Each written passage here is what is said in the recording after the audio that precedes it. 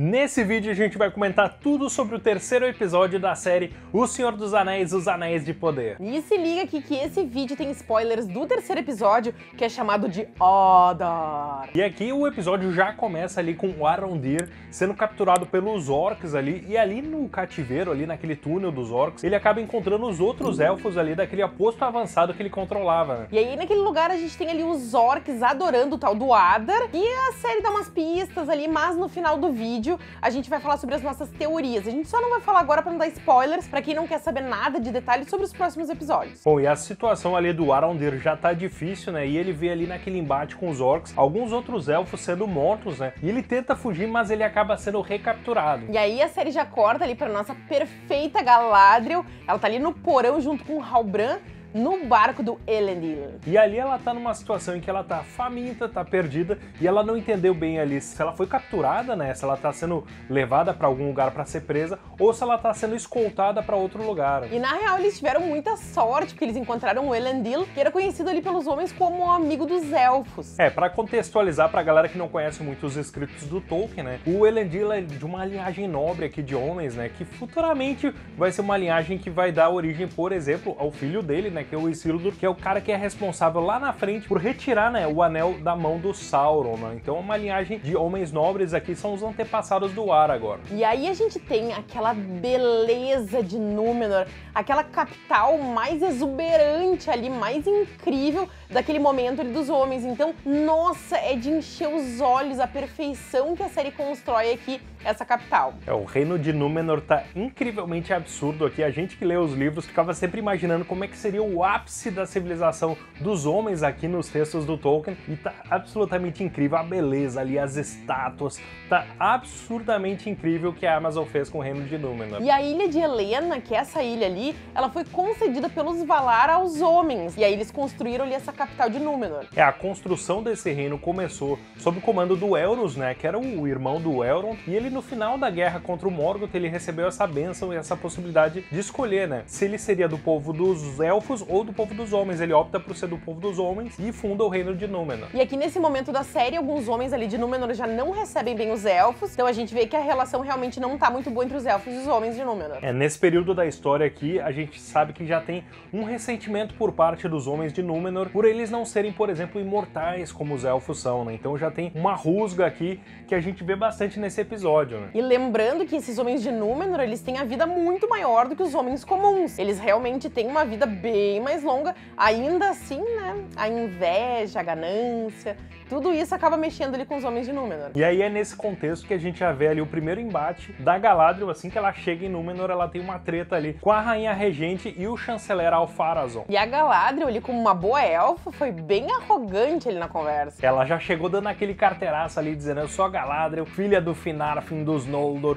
sou comandante das forças do norte do rei Gil-galad". Porque ela sabe da importância dela e ela sabe que esses títulos todos deixam eles nervosos também. E aí logo em seguida a gente vê uma cena do Halbrand entregando para Galadriel ali a adaga que era do irmão dela, né, do Finrod. E aí a série mostra o Isildur, o filho do Elendil, ali em treinamento para ser um oficial ali e comandar os mares, mas tu vê que ele ainda é meio gurizão, que ele tá com a cabeça ainda bem distante, meio avoado. E aí tem uma cena muito legal que a câmera se move ali no reino de Númenor e a gente vê a árvore branca, que é a árvore branca que veio de uma muda dada pela Yavanna, né, que é a vala da, da floresta ali, da natureza, que a gente sabe que era uma muda que vinha originalmente como uma cópia de Laurelin Telperion. E aí esses elfos resolveram presentear então os homens de Númenor com essa árvore branca. É, a rainha regente chega a comentar que essa árvore, ela veio da lágrima dos Valar, então seria algo que remontaria à época de Valinor e mostraria bastante como os Valar ainda teriam o controle ou pelo menos um olhar vigilante sobre Númenor. E naquela cena ali que a rainha entrega aquela espada na mão do Elendil, a gente entende pelo menos que ela tá querendo dar a entender para ele matar ela, né? O que seria um movimento bem drástico, mas como o Elendil é um dos fiéis, ele acaba ajudando a Galadriel em toda a jornada. É, a Galadriel acaba indo com o Elendil pro Salão do Saber, né, que fica bem distante dali, que é a área onde ainda ensinam o élfico, por exemplo, pros homens. Né? E esse salão foi criado pelo Elros, que é irmão do Elrond. Bom, e aí na pesquisa nesse salão do saber, a Galadriel acaba descobrindo que aquela marca que foi deixada no irmão dela, no Finrod, na verdade era um mapa das terras do sul na Terra-média. E aí eles ficam chocados que eles descobrem ali um fragmento ali de um plano, que seria no caso do Morgoth ser derrubado, que realmente aconteceu, outro mal dominaria o mundo. E aí eles ficam assim, meu Deus, a coisa é muito maior do que a gente imaginava. E aí quando eles veem essa treta aqui, o Elendil acaba escalando o filho dele, o Isildur, para escoltar a Galadriel de volta para a Terra-média. Provavelmente aqui em segredo, pro pessoal ali de Númenor não ficar sabendo. E lá na taverna a gente tem o Halbrand causando em Númenor, brigando ali, indo pra porrada com os homens de Númenor. Quando a gente acha que ele vai apanhar, daqui a pouco vem um mal dentro dele ali, que ele sai surrando todo mundo. É, ele acaba preso ali e na prisão a Galadriel vem falar com ele e acaba estimulando ele, encorajando ele para ele ser como se fosse uma referência ali, unindo os homens da Terra-média para lutar contra o Sauron. E ele acaba deixando claro que antigamente ali o povo dele jurou lealdade ao Morgoth, mas aí igual a Galadriel diz, bom, pelo menos a gente pode voltar pra Terra-média e tentar corrigir esse passado. E aí a série corta lá pro arco dos pés peludos, a gente vê que eles de novo estão é, desarmando ali o acampamento para continuar migrando, só que a família da Nori tá com receio de ficar para trás, porque o pai dela, né, machucou o pé, então realmente ele vai acabar ficando um pouco para trás naquele comboio. E o legal aqui é que toda a atitude boa da Nori de ajudar aquele gigante acaba trazendo coisas positivas em retorno, já que ele ajuda a família a ir migrando junto com o povo todo deles. Né? Bom, e agora vamos comentar um pouco sobre as teorias que a gente tem agora, depois que a gente viu esse terceiro episódio. Várias teorias aqui interessantes que a gente quer compartilhar com vocês e ver o que vocês acham também. Né? E um personagem que nos chamou muita atenção aqui nesse terceiro episódio é o Halbran. A gente tem algumas teorias sobre ele, porque a gente vê ele entregando a adaga de volta pra Galadriel, agradando ela. É outra parada ali, logo que eles chegam, ele tenta se ajoelhar ali diante da rainha regente, né? E quando a Galadriel começa a tretar ali com os homens de Númenor, ele já tenta acalmar os ânimos ali, começou a negociar bem malandramente ali mais aqueles três dias para eles ficarem na ilha. Usando a malandragem também, ele pega e paga mais uma rodada de bebida ali para os homens na taverna, ali na hora da briga. É, aqui ele poderia estar tá agindo aqui, por exemplo, né, como o Anatar, o senhor dos presentes, né, que só futuramente os homens descobririam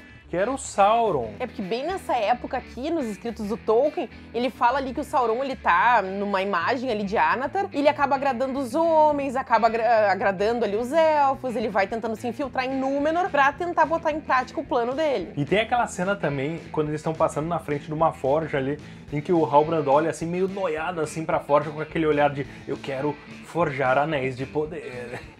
e além disso, também se a gente for parar pra pensar nos outros episódios, o Alto Rei Gil-galad, ele fala que ele tem uma grande preocupação com essa obsessão da Galadriel de procurar o Sauron, que ele acha que justamente essa obsessão dela poderia trazer o Sauron de volta.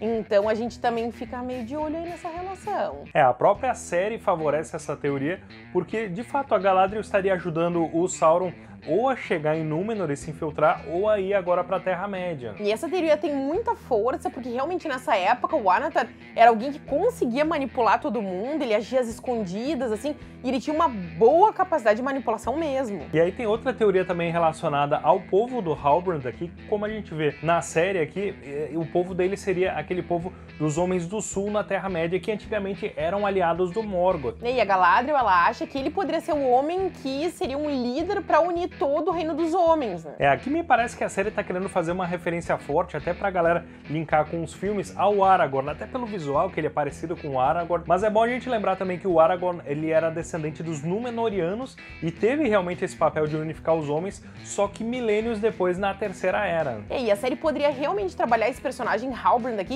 com essa referência visual ali ao Aragorn, mas aqui é completamente outro momento, mas o que a série poderia fazer com esse personagem é fazer ele se tornar um grande rei dos homens, unificando esses homens ali mais comuns. É, o que seria legal da série trabalhar, se fosse por esse caminho, é que ele poderia ser um daqueles reis governantes homens que acabou eventualmente sendo enganado pelo Sauron com um, um anel de poder ali presenteado a ele e acabaria se tornando um espectro do anel, né? Ele poderia ser ou o rei bruxo de Angmar ou um outro Nazgûl ali. Eu realmente gostei muito também de qualquer um desses caminhos, mas esse segundo dele se tornando o rei bruxo de Angmar seria incrível. E sobre ali aquele gigante, que é o gigante para os pés peludos, a gente tá cada vez mais convencido que ele é algum Istari, ele é algum alguma figura mística importante, provavelmente um mago ou Gandalf ou algum outro mago. É, os Istari eles foram enviados pelos Valar aqui pra Terra-média, né, para estudar ali onde é que tá o Sauron, buscar ele, e também para se infiltrar ali no meio dos povos da Terra-média como se fossem velhos sábios, e acaba instigando nesses povos a coragem ali, a vontade de lutar contra o Sauron. E o último personagem aqui das nossas especulações é o Adar. Que a gente vê ali que o Arondir ele foi aprisionado junto com os outros elfos ali, e os orcs não param de chamar o Adar, o Adar, e a gente fica assim, tá, mas será que ele poderia ser o Sauron? Será que não?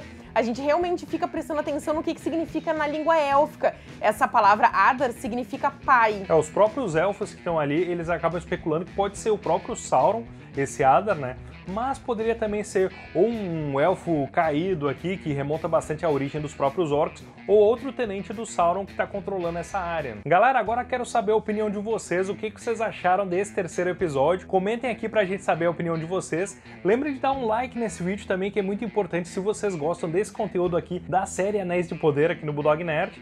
E até, até a próxima!